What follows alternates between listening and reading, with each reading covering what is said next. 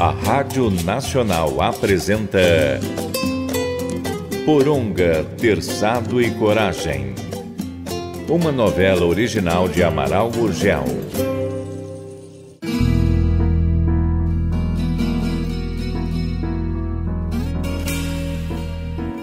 Todo dia um desafio novo. Qual aventura podemos esperar da floresta em mais uma jornada?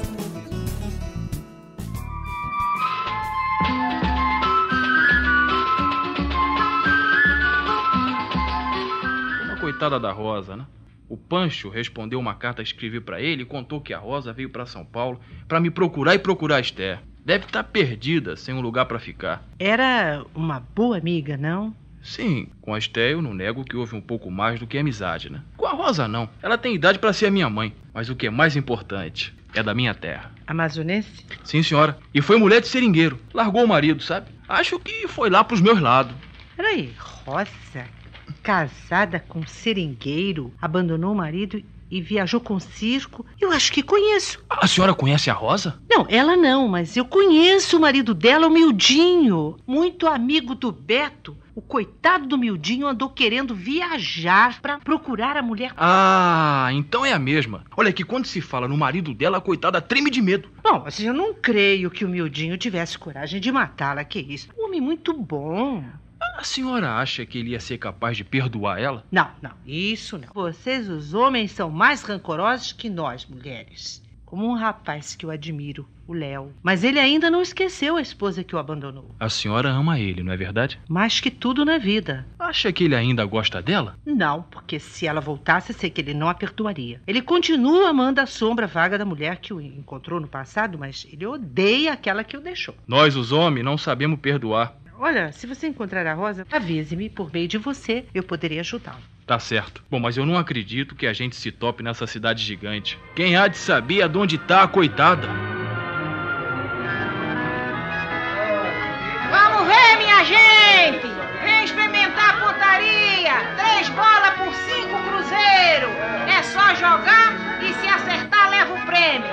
Aqui estão as três bolas. E já vi que a mocinha tá aí zoiando por ursinho, né? Tá aqui o seu troco, moço. Como é que é? Vamos lá. Primeira tentativa, hein? Epa, errou, errou. Mas passou bem perto, né? Agora vamos pra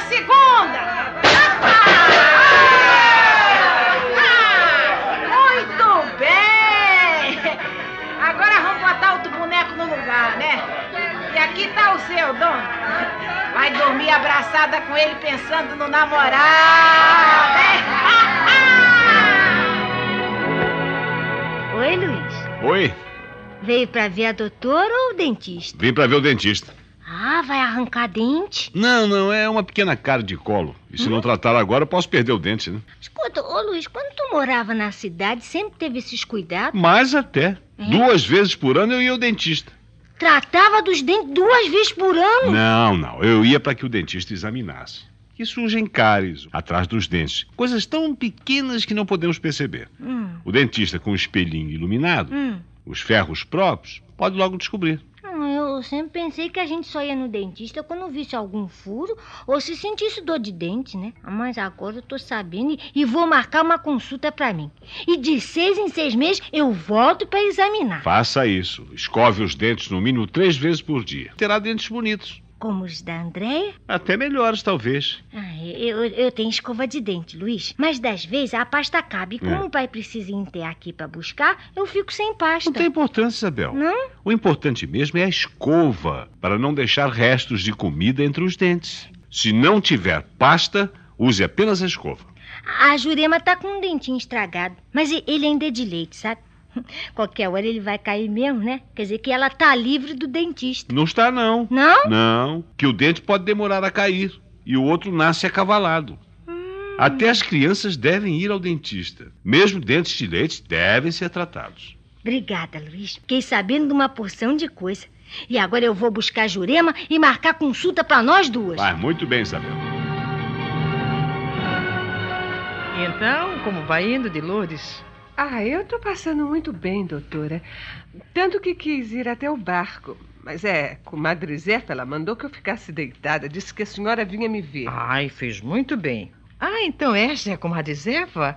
Ela mesmo, doutor. Ah, Desculpe-me, eu esqueci de apresentá-la. Nem precisa. A doutora toda a gente conhece. Meu nome é Josefa, mas todo me trata de Zefa. Pois, se me dá licença, vou tratá-la de comadre Zefa, como diz a de Lourdes. Olha, a senhora está de parabéns, porque todas as mulheres que examino elogiam a sua perícia como parteira. ah, isso é prática, doutora. Muita prática. É, por isso, nem preciso lhe dizer os cuidados que deve tomar quando chegar a hora do parto. Acho que não, senhora. Eu, eu, eu não tenho luva, que nem o doutor, mas eu, eu lavo muito bem as mãos. Eu, eu desinfeto com arco e vejo que o tapiri esteja lavado, né? E até a rede eu mando lavar. E já deixo tudo preparado. A bacia com arco e fogo, que é pra matar tudo quanto é bichinho. Isso mesmo, comadre Zefa. Bem, com a senhora aqui, eu sei que tudo vai correr muito bem. Mas tem coisa que eu não sei, doutora.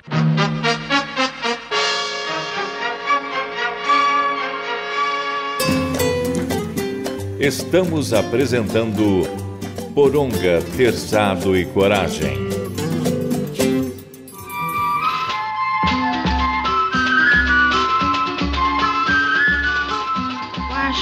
Saber sobre a infecção umbilical, o mal dos sete dias. Não, senhora, que isso eu aprendi há muito tempo. Nada de a teia de aranha, barro, cinza e outras bobagens. Quando muito é mercúrio cromo. Muito bem, colega. que sou eu. Eu sei que a Dilude, depois do quinto mês, tomou injeção antetânica. A criança está livre dessa doença. Hum, então, o que deseja saber? É, é sobre a limpeza da casa. Aqui eu sei que a gente lava o chão, a rede, tudo. Mas daí vem, me chamam pra ver alguma cabocla que mora no firme, numa casinhola que não tem soalho. É chão mesmo. Ah, sim, compreendo. É, é chão de terra batida. É. E não posso mandar, né, que lava o chão. Pois então vai piorar, vai ficar um barreiro danado. É, tem razão. Bem, nesse caso, mande que preparem a água com criolina e chapisquem pelo chão, sem molhar muito. É só para desinfetar. Aí eu sei, eu sei, é borrifar água. Hum, isso assenta a poeira e a creolina espanta os insetos. Desinfeta. Obrigada pela lição, doutora. E agora me dá licença e eu vou falar para trazer um cafezinho. Não, não, não é preciso. Daqui a pouco eu volto ao barco para jantar. Ah, mas é que eu estou com vontade de um café, doutora. Agora me diga, até quando vai me deixar de castigo aqui sem poder cuidar da minha vida, hein? Eu vou examiná-la. Mas eu acho que logo, logo poderá se levantar. Seu aspecto está muito bom. Seu Beto? Seu Beto? O que, que há, Isabel? Qual foi o problema? A Jurema teve medo de ir pra cadeira do dentista, foi? que nada, seu Beto. Subiu pra cadeira numa pose que só sou vendo. ah, então não chorou. Não, nem um pouquinho. Ficou um pouco nervosa, né? Quando o dentista tirou o, o dentinho estragado. Mas nem precisou de buticão. Tirou com a pinça mesmo. Agora a cabritinha vai ficar impossível contando da sua coragem. Mas escuta aqui, o que é que tu queria me dizer, hein? Só conhece aquela cabocla morena alta que tá lá perto do bar? E não hei de conhecer. Ela ficou sem o marido e não baqueou, não. Cuida da mãe e trabalha cortando seringa. Como é o nome dela, hein? Todos tratam ela de Mara. Mas por quê, hein? Só viu aquele quadro que o Luiz pintou? Da mulher pelada? Sim, sim, eu vi a, a mãe da seringueira. O quadro pode ser lenda, mas a mulher é de verdade. É a Mara. É, eu acho que tens razão. O danado do Luiz botou a cara da mestiça na mulher. Só a cara? Hum, eu acho que ele botou foi tudo. Será? Ah, tem que ser. Ó, eu, eu duvido que ela é uma viúva ou largada do marido, não sei bem não. Mas vive sozinha com a mãe, trabalhando, e até hoje nenhum homem conseguiu nada com ela, não. É, mas o desgramado do Luiz, ele não perdoa. Ah, que seja, que seja. Nós não temos nada com isso, os dois são livres, né? Ah, mas se a Andréia souber que a mulher do quadro existe. Deve saber que a André tá acostumada com um sujeito que nem ele. Ah, lá vem, lá vem o Luiz lá, ó. E tá parando pra falar com ele. Nós não temos nada com isso, Isabel. Só é de admirar que ela conversa com ele. Geralmente ela fala muito pouco. Vem me entregar borracha. Entrega, eu pago, ela agradece no filho e voz e sai. Indiferente aos homens que comentam sua beleza. O senhor acha ela bonita, seu Beto? Eu sou homem, né? Ah, deixa isso pra lá, Isabel. Tem certeza que era a mulher do quadro, Isabel? Eu tenho, eu tenho. E se tu visse, tu ia ter também. Bom, e daí? Ele precisava do modelo. Se ela se prestou a isso, não temos nada com isso. Tô pensando é que foi sorte minha ele não ter, não ter reparado em mim. Imagina se eu me casasse com ele. O que que tinha? O que que tinha?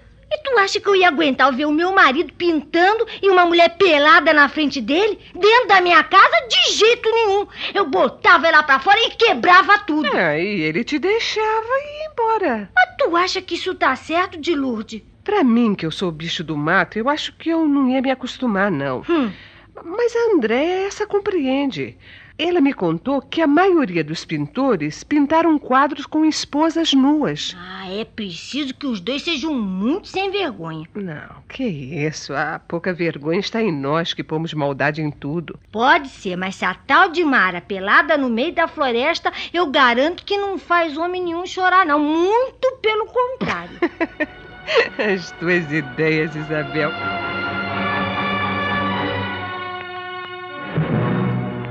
Sim, Beto. Foi a Mara quem posou para aquele quadro. Hum, quer dizer que tu e ela. É isso, rapaz, não seja maldoso. Foi um trabalho como outro qualquer. Eu paguei, acho que paguei muito bem o trabalho dela. É, mas se essa gente chegar a ver o quadro, ah, ela cai na boca do povo. Não há esse perigo. A não ser vocês, que são meus amigos. E esse mesmo por culpa da Jurema, que mexe em tudo. É, Ninguém teria visto aquele quadro. Foi o que combinei com ela. Tu paraste pra conversar com ela, Luiz. Era, pediram que fosse me procurar amanhã. Outro quadro é. Não, não, o quadro já remeti para São Paulo. André, quando esteve aqui, falou-me que mal acabou de ser exposto na galeria, um senhor que ali estava comprou. E pagou bem? Eu não sei quanto o dono da galeria cobrou. Nem me interessa. Mandou-me 25 mil cruzeiros. Tudo isso? Volte! Depois de ser visto num palacete, vai valer o dobro. Não me admira que o comprador o tenha vendido por muito mais. E achei justo dar mais algum dinheiro à Mara. Muito bem, e quanto pretende dar a ela? 5 mil cruzeiros. Acho justo. Caramba! Olha aqui, Luiz. Qualquer dia eu vou servir de modelo pra um quadro teu, não sabe? Se não te importas de aparecer pelado num quadro de cócoras pescando. Ora, vá, vá, outro, gente!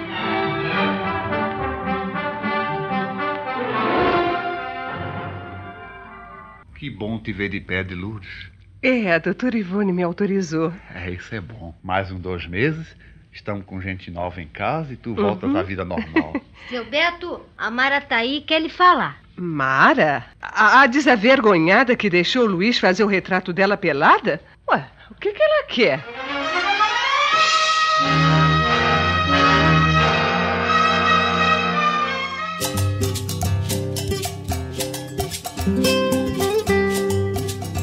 Rádio Nacional apresentou Coronga, Terçado e Coragem. Uma novela original de Amaral Gurgel.